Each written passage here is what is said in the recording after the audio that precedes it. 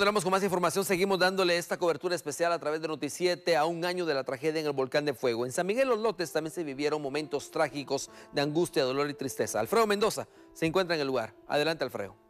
Compañeros, gracias y muy buenos días, amigos televidentes. En efecto, tenemos información importante y de última hora. Y es que nos hemos trasladado hasta la aldea San Miguel Los Lotes, esto en las faldas del volcán de fuego, un año después de aquella tragedia que enlutara a decenas de familias guatemaltecas tras una fuerte erupción del volcán.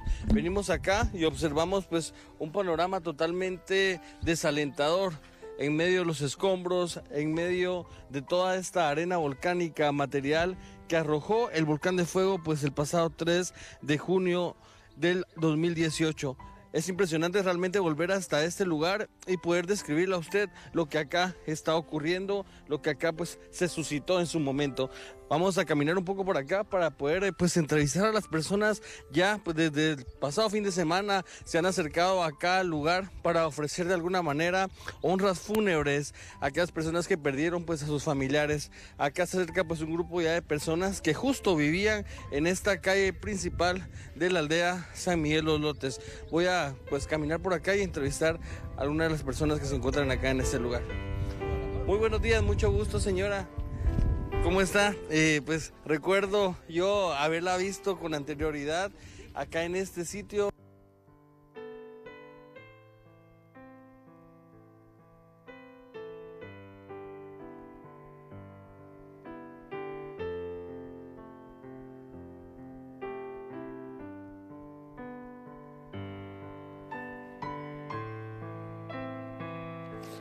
Bueno, tenemos eh, un pequeño eh, problemita técnico, será segundos ya de, estarlo solucionando. Recuerde usted que es una área eh, bastante alejada de señales precisamente para poder captar audio y video desde este lugar. pues en este momento se está solucionando, pero ya lo decía Alfredo, es un panorama desolado, triste. definitivamente las familias que regresan y ven el panorama son metros prácticamente de montañas de arena prácticamente que se, que se mantienen en ese lugar después de un año, a un año de la tragedia. Vea usted, es increíble que las personas aún pues eh, les, eh, mantienen la esperanza de esas familias que quedaron soterradas completamente y de recuperar a un año de la tragedia aún su cuerpo. Y es que las labores de rescate terminaron tal vez en un mes oficialmente, pero la gente continuaba, vea usted, así como lo ve en pantalla, escarbando, buscando los restos de sus familiares.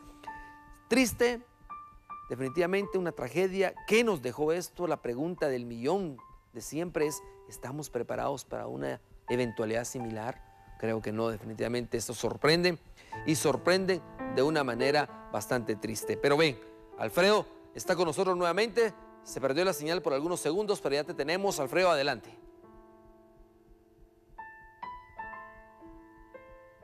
Televidentes hemos tenido pues un problema en la comunicación, sin embargo pues estamos acá ya desde muy tempranos ubicados en aldea San Miguel Los Lotes. Ustedes pueden apreciar, hemos venido un año después de, esta tragedia que enlutó pues a cientos de hogares guatemaltecos. Eh, Solo INASIF ha reportado alrededor de 207 eh, fallecidos identificados. Es lo que tenemos pues cifras de manera oficial. Sin embargo, pues vamos a seguir caminando por acá y entrevistar a las personas que directamente fueron afectadas. Señor, muy buenos días. Mucho gusto. Pues me llama la atención bastante que usted esté acá en este lugar. Cuéntenos acá, pues era su vivienda anteriormente y qué es lo que siente ahora al venir a este lugar. La verdad, pues sí, esta era mi, casita.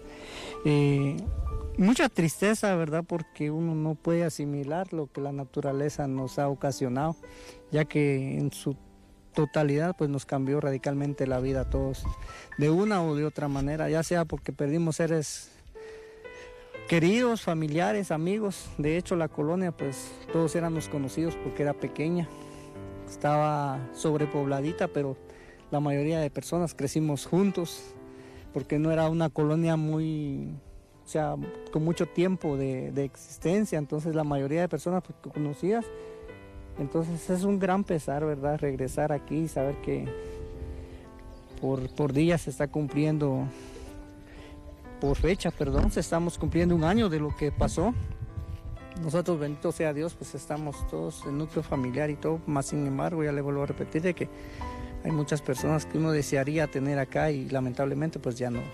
Claro, este espacio es donde pues se ubicaba anteriormente su residencia y pues eh, imagino yo que de acá no pudo rescatar nada. No, como usted se podrá dar cuenta aquí, no, no, no, no pudimos sacar nada, salimos con lo que teníamos puestos.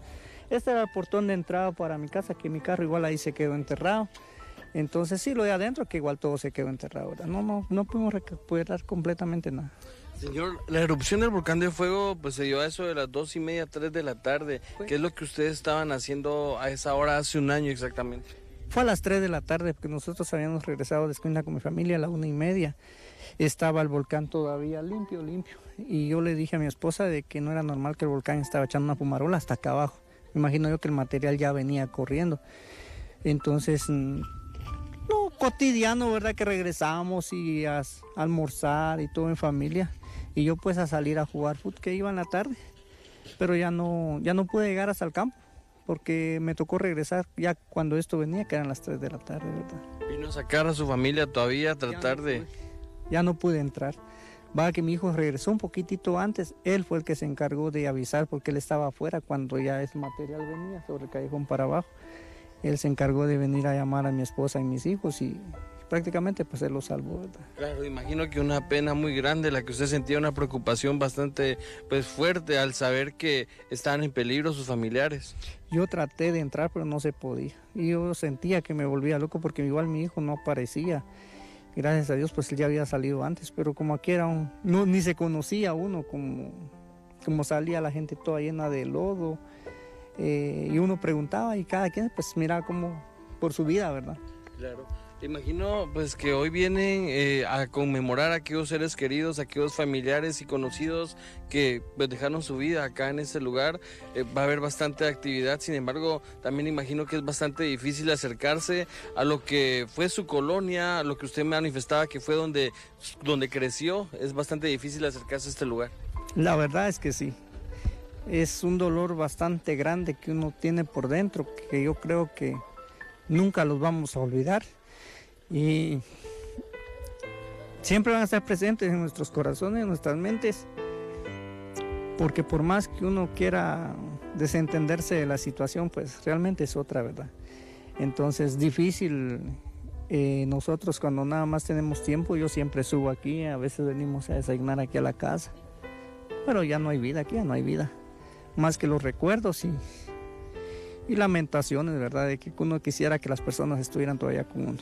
Muchas gracias, señor, por esas importantes palabras. ¿Cuál es su nombre? Walter Mijangos. Para don Walter, muy amable por compartirnos su testimonio. Y en efecto, pues así como el testimonio de don Walter, hay decenas de personas que se están acercando acá a este lugar a recordar a sus seres queridos. Recordamos nosotros también que estuvimos en el momento de la tragedia, aquellas personas que sufrieron por la pérdida de las vidas humanas, por las pérdidas pues de sus familiares. En cámara mi compañero Brandon Galeano estaremos reportando más adelante lo que se suscita y la actividad que se dará este día 3 de junio a un año de la tragedia en el volcán de fuego. Soy Alfredo Mendoza, regreso con ustedes a Estudios Centrales. Buenos días.